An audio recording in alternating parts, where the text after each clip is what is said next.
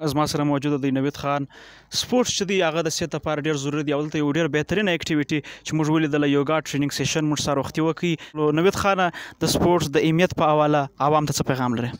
د ټول لمخ خو ستا شکریا ادا کوو چې ته سهار وختي راغلې موږ ته ټایم راکړې یوګا چې موږ سره وکړه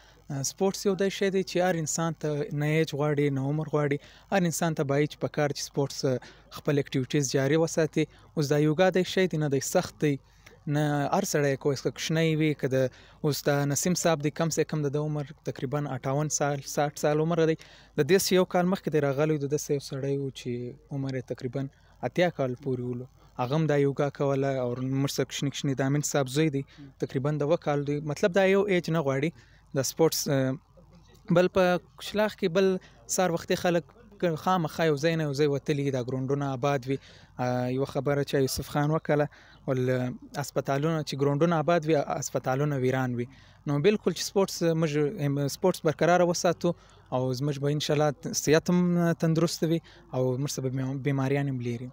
نوید خان سپورت چې دی هغه یقینا د صحت لپاره ډیر ضروری دی لیکن دلته په لیکن دلته د بده مرغه په کوشلاغ کې منشیات چې موږ یو ناسور ته وایو زموږ نوې طبقه په دې ناسور اخته ده په دې حواله څه پیغام لري بالکل منشیات خو نن سبا زیات شوي دي صرف په کشلاخ کې نه بلکې په ګرد کوټه کې په ټوټل بلوچستان کې زیات شوي دي او منشیات خو نو هر څوک یې کوي د منشیات یوه واحده طریقه دا ده سپورټس چې هغه د منشیات څخه انسان لرې ساتي ولې چې ته معمولي سګریټ څکې ستاسو بیا ته سپورټس نشې کوی ته یو معمولي رننګ نشې کوی چې ته دا منشیات چې سپورټس کوې بیا به خامخا د منشیات ورته پرېږدې او په سپورټس کې کوم کلر خوند درکوي کرکټ فوټبال هاکي والیبال په سپورتس کې کرکټ ښه خوند څنګه چې سپورت ضروري دی تعلیم هم دغه ضروري دی په دې حواله څه بالکل تعلیم هم انسان ته تعلیم ضروري دی چې کله ستا بدن برابر وي ستا